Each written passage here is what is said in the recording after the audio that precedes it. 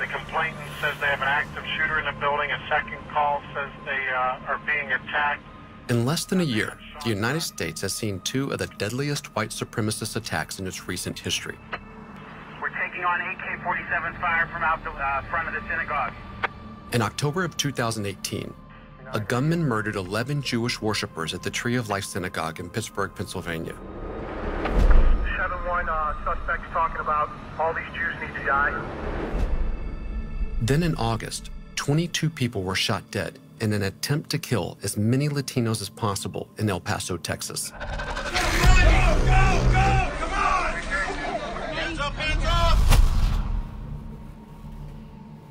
Just nine months apart, these attacks were connected through the ideology of white supremacy.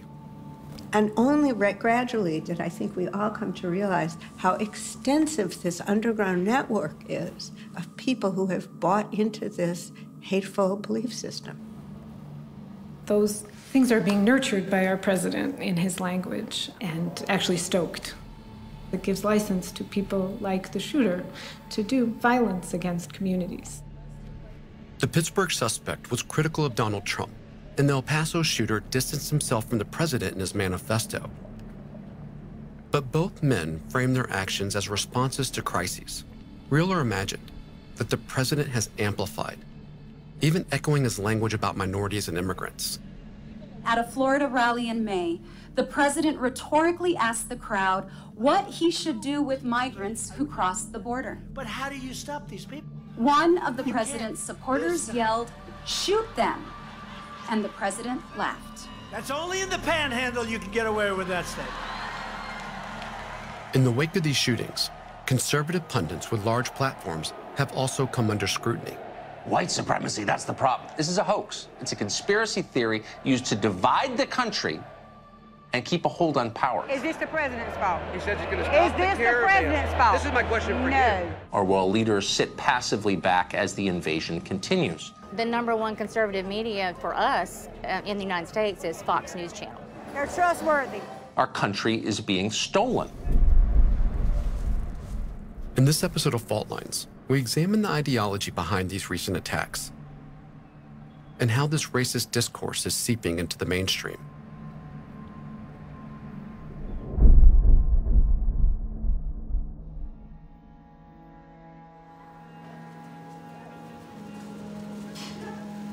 I just remember hearing a lot of people screaming for help, screaming for the ambulances.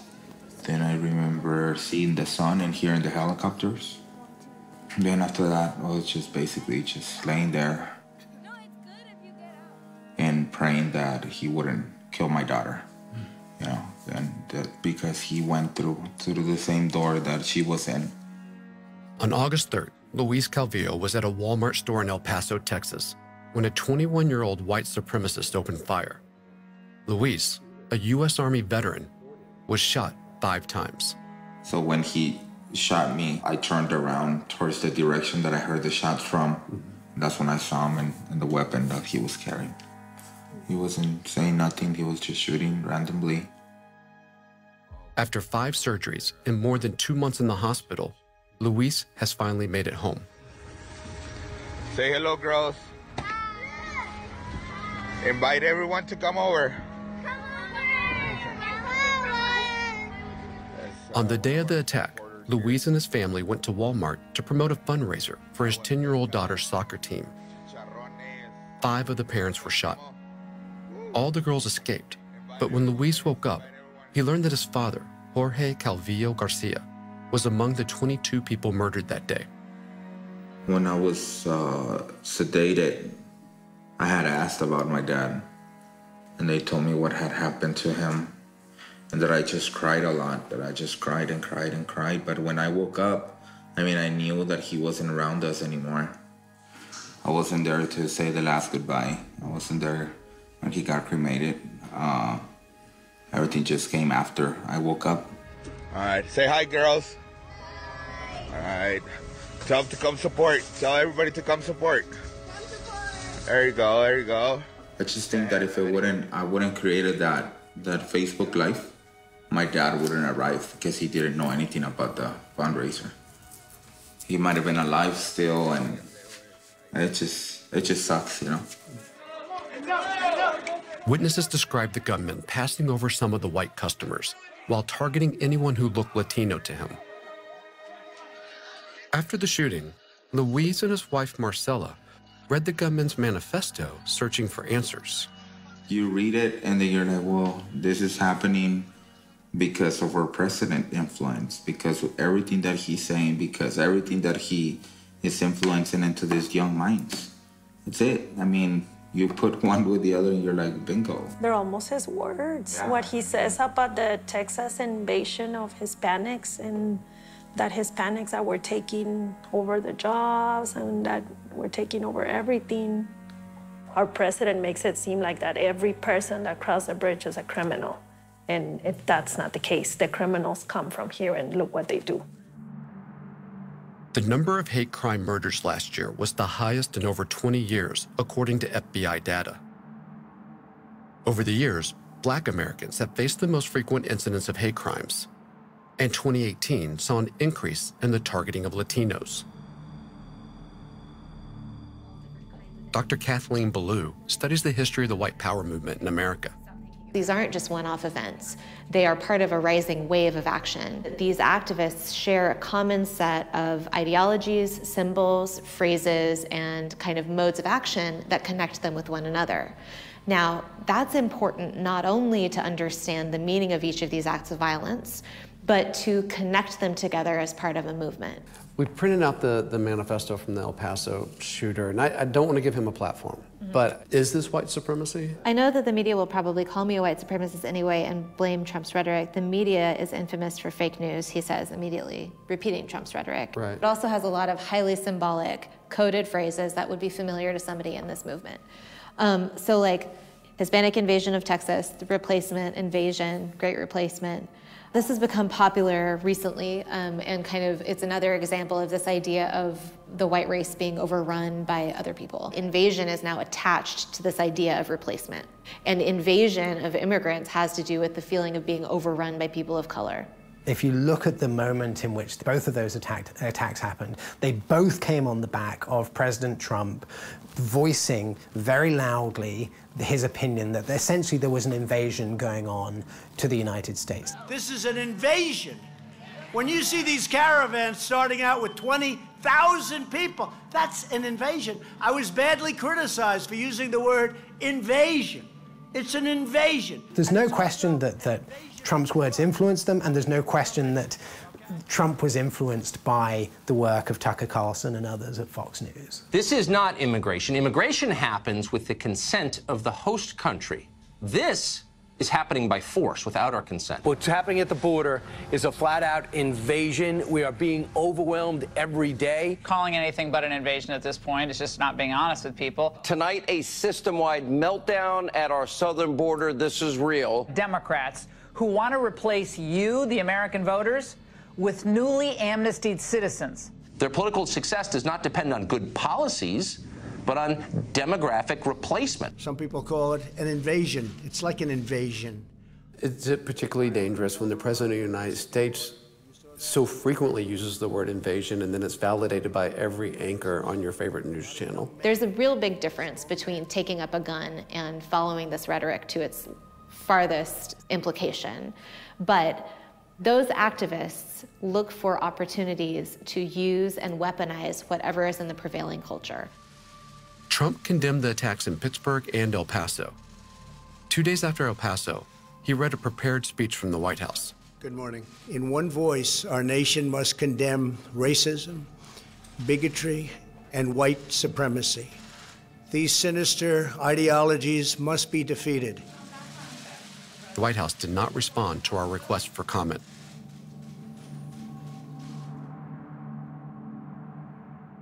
A month after the Walmart attack, national lawmakers hosted a hearing in El Paso examining the relationship between anti immigrant rhetoric and domestic terrorism. No Republican members of Congress attended. Unfortunately, it is only too fitting that this hearing is being held in El Paso, a place that has had to endure the target painted on our backs because of anti immigrant rhetoric, and the rhetoric has only escalated over time. For many of us, those words have become a matter of life and death. Can you draw a through line between the rhetoric of President Trump and the conservative media in America to what happened here in El Paso? Obviously, the actions that that individual took are his actions, his responsibility. But there is also a direct line from the rhetoric that we have heard from the president, um, calling uh, immigrants uh, thugs and rapists, invaders, infestation of this country. Uh, the, the murderer, in his own manifesto, used some of the same terms, practically quoted it. It's been just over a year since a white supremacist opened fire in Pittsburgh's Tree of Life synagogue in what became the deadliest attack on Jews in American history. The perpetrator allegedly targeted the synagogue because one of the congregations there had hosted a service in support of immigrants, calling it a refugee Shabbat. It was part of a national project spearheaded by HIAS, a global Jewish nonprofit that aids refugees. And it started out as the Jewish Immigrant Aid Society, and it was helping people like my grandparents come from Russia. And it was Jews helping Jews. They now say we used to help immigrants because they were Jews. Now we help immigrants because we are Jews. Carolyn, Eve, and Donna are leaders of Dor Hadash, one of the three Jewish congregations targeted at the synagogue that day. Before the attack, the alleged shooter posted online HIAS likes to bring invaders in that kill our people. I can't sit by and watch my people get slaughtered. Screw your optics. I'm going in. He knew the address, unfortunately, from HIAS's website because we were listed as a congregation that was participating in the National Refugee Shabbat. And when I found that out, I, talk about my heart sank. It's, it's, it was incomprehensible. It's still incomprehensible. It's something we'll carry with us for the rest of our but lives. doing something that you thought was a nice and totally harmless activity, like leading a National Refugee Shabbat, that it would inadvertently lead this man to the door is horrific. I've always believed in social justice, human rights, and it's what I do. I never wanted that to hurt anyone else um, or lead to anyone else being hurt.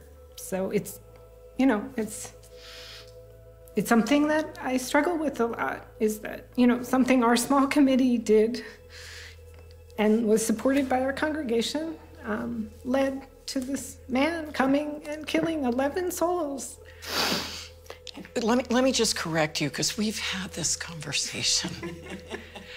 and what you did did not lead to this man. There were many things that led to this man coming. Nobody would have wanted us to disassociate ourselves with HIAS. And we know that this man simply hated Jews, and he was looking for Jews to kill. If it hadn't been us, it would have been others.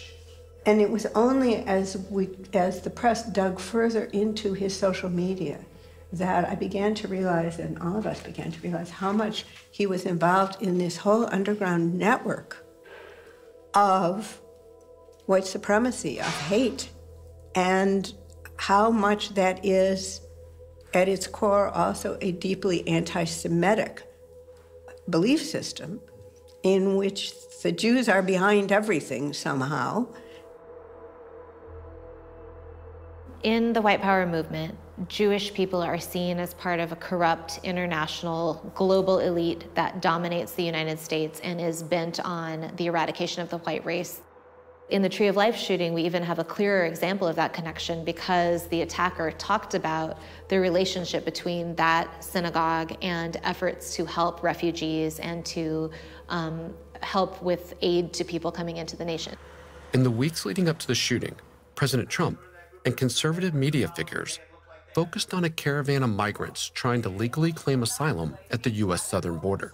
We watched another migrant caravan snake its way up from Central America. It's not a caravan, it's an invasion. We are getting some really bad characters coming into this country. The president pushed a false claim that so called unknown Middle Easterners had infiltrated the caravan. But certainly you have people coming up through the southern border from the Middle East and other places that are not appropriate for our country. But even one ISIS, even one poison pill is too many in a caravan. The fear is that some of them are uh, radical Islamist terrorists. Where are they from? Who brought them here? Why are they coming here?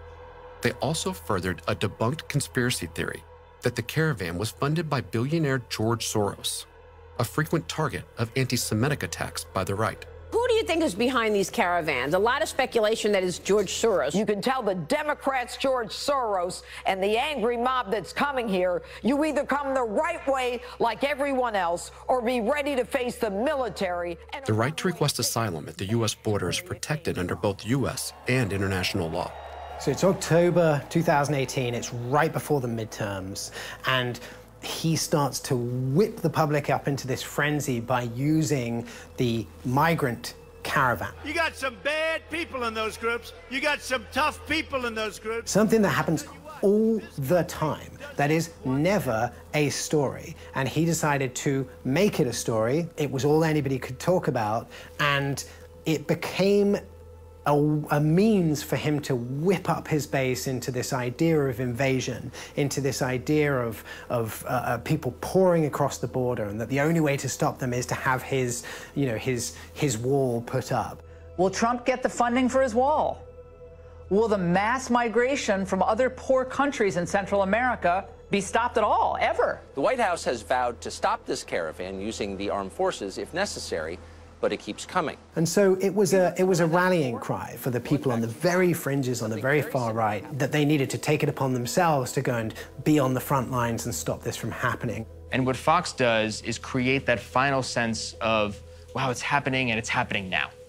And so what took place with Tree of Life is they spent so many weeks hammering home, not just that it was happening, but that nobody was doing anything about it. Fox News again came under scrutiny after the El Paso shooting, and a number of companies even withdrew their advertisements from Tucker Carlson's show. So this is one of the things that Tucker Carlson said uh, immediately after the shooting in El Paso, that white supremacy was a hoax. If you were to assemble a list, a hierarchy of concerns, of problems this country faces, where would white supremacy be on the list? Right up there with Russia, probably. It's actually not a real problem in America. White supremacy, that's the problem. This is a hoax just like the Russia hoax. What's amazing about this in particular is they call, he calls this a hoax, which we know is not true, but every bit of data says that right-wing extremism and white supremacy is committing more acts of terrorism and committing more acts of murder in the states than any other form of, of, of political terror. President Trump and Fox News have an unusually close relationship.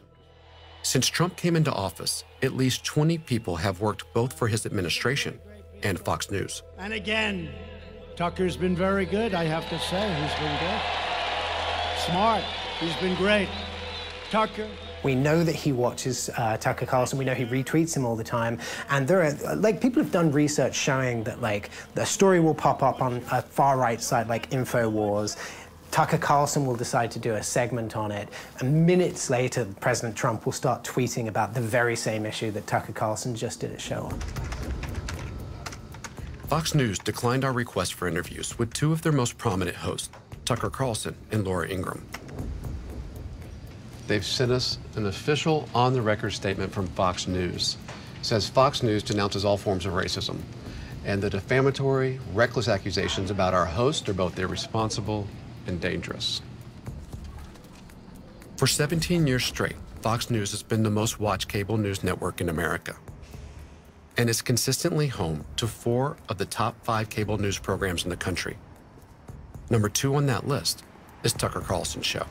We have one more shot here to try to talk to Tucker, and it's, we believe we have his cell phone. So we're going to give him a call, and let's see if we can't get him on the line. Hello? Hello, calling for Tucker Carlson? Who's this? Josh Rushing with Fault Lines on Al Jazeera. I don't know what that is, but I like the sound of it. So uh, I'm actually standing out in front of Fox News, just hoping to talk to you. you know, I'd be happy to, but I, um, I would say, um, you know, you can assess what. I mean, I have an, an hour-long live show. You do. Nights a week, so you can you can assess for yourself what you think of, of We- what I think. I don't know what you mean by. Well, we've watched a lot of your show. Well, what I mean is, like down in El Paso, there are people who say that they feel like that you and, and the, re- your rhetoric puts a target on their back. Hey, Josh. Yeah. You can you can assess for yourself what you think. Um, Well, but, th- but these are the people who survived the shooting and say that they feel like there's a target on the back because of the kind of rhetoric that, that you put out on a nightly basis. What would you say to them? Not to me, but to them. maybe it would be helpful if you sent the questions to media relations, but I I'm not supposed to. Uh, I mean, that's that's the rule here, as you know. Aren't- You're a big enough guy at Fox. You can tell them that you want to sit down and talk, right? I mean, you, you have like the biggest program on there for a young audience, the only growing program on there, I think. The President of the United States stands up and, and says your name, lavishly praises your name. Tucker?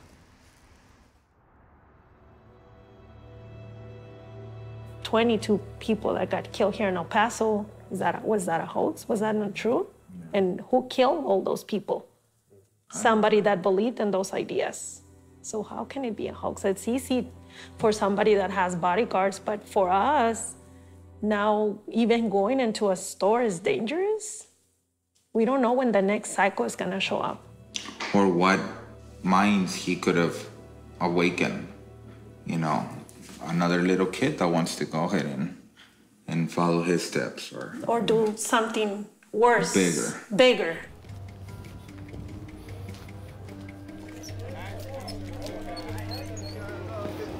Drain the swamp, liberal tears, come get it here. $15, two for 25. After the El Paso attack, the New York Times reported that in the previous seven months, President Trump's campaign had run at least 2,000 Facebook ads with the word invasion. Hats and flags, guys. Hats and flags. We saw not just that Fox News ramped up the attacks, but then obviously the Trump campaign started running thousands of Facebook ads. Since the shooting, his campaign has spent over a million dollars on immigration related Facebook ads, more than on any other political issue this year. I think Trump and Fox News see what happened in El Paso as unfortunate, but sort of something that's going to happen when you launch a campaign like this. They see the political benefits of, of making Americans terrified uh, about immigrants coming into this country and using that as a rallying cry. They want to have drugs pouring into our country. You have to have a wall and you have to stop it. We don't want dangerous criminal aliens roaming free in North Carolina. We want to take care of it. And so when I think about what happened over the summer and how the very next day they doubled down on the, not just the terminology, but the warnings behind it, they understand now that that is a, a tool in their toolkit. And worse, that, that it's probably the, one of their most effective ones in this moment. The illegals, I mean, you know, they're running the drugs. They're doing all kind of bad stuff. Especially when you see demographic, quick demographic change in an area, it can get very dangerous for them and for the people living there. Have you looked at all the people that have been killed by illegal aliens across the United States that have been raped and shot by illegal aliens? Let them come. Let them come in legally. If I was me president, I'd get rid of all the son of a guns. All of them. You would do what? Get rid of them back to the countries. You can't do anything to stop them. What we've seen is we've seen Trump go back to his playbook uh, as he launches his campaign for 2020. I mean, he launched his, his campaign by calling uh, Mexican immigrants rapists and murderers, for, literally at his first press conference. So uh, that's been his message all along. It's really important that people start realizing if you characterize people as, uh, as, as criminals and invaders and bad hombres, or you talk about Jews in particular ways, it invokes fear in people. People get so afraid. And not just people being shot, but people being treated different, differently all over the country. As the 2020 presidential election looms, the nation's attention will be on President Trump, the words he uses, and the power they carry. If you have the largest platform on the planet and you decide to use that to uh, amplify white supremacist ideas, then whether you are a racist or not, whether you are truly racist or not, is, is kind of moot. There's always been racism, always in this country, but I think since Trump got to be president, it's acceptable to be racist because the president is a racist, so now it's acceptable to be a racist. You're either uh, in league with racists or you are truly racist yourself. But in terms of the impact of what you're saying and doing, it doesn't really matter. And he's seen the consequences and he doesn't care. He sees the consequences and he still doesn't care. To protect your family, you must defeat open borders. And by the way, we're building that wall and it's going up very big.